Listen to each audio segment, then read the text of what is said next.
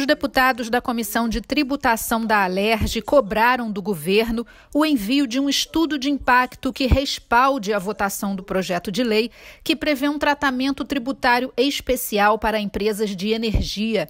O projeto foi enviado pelo Poder Executivo e cria benefícios fiscais para operações internas com gás natural produzido no Estado. O objetivo é tornar o Rio de Janeiro mais competitivo no setor.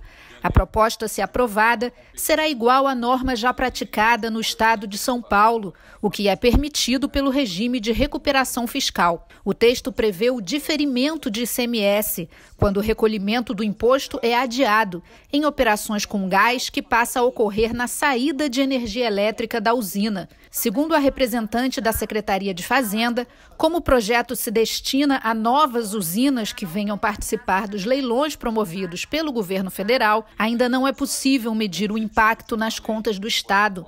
Mas o presidente da comissão, deputado Luiz Paulo, disse que a estimativa é necessária para que o legislativo vote com responsabilidade. Qualquer benefício fiscal interessado vai dizer vai gerar emprego e vai gerar renda. Todos vão dizer isso. Só precisa saber se o emprego e a renda que vai ser gerado, que custo ele vai ter. Parlamentares e membros do Ministério Público também questionaram o texto do projeto que destina o tratamento tributário especial apenas para empresas que venham implementar usinas no Estado. Nesse caso, as que já atuam no setor perderiam competitividade nos próximos leilões.